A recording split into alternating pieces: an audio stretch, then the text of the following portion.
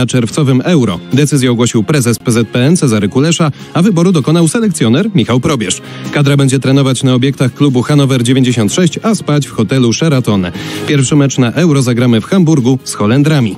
Jeszcze zaglądamy do Kielc. Industria coraz bliżej ćwierćfinału Ligi Mistrzów Piłkarzy Ręcznych. Kilka minut zostało do końca meczu z duńskim GOK. Jest teraz 29 do 25 dla Kielczan, a dodajmy, że Industria broni aż ośmiobramkowej zaliczki z pierwszego meczu więc już chyba nic złego stać się im nie może.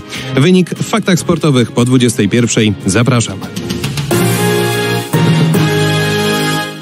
Sponsorem faktów sportowych jest właściciel sklepu z oponami oponeo.pl. RMF24. Kontynuujemy wieczorne spotkanie w Radiu RMF24. Tu Marcin Jędryk. Za chwilę, tak jak zapowiadałem, spotkanie z Bryską i rozmowa na temat sztucznej inteligencji.